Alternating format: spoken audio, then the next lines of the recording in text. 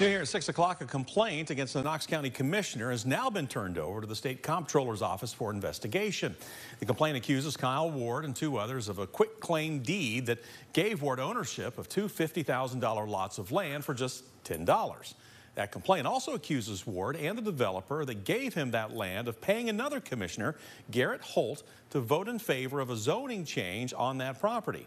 The Ethics Committee dropped this complaint after receiving a signed contract showing that Ward agreed to pay $40,000 for each lot of land, but the person who filed the complaint claims that contract was only written up after a complaint was filed.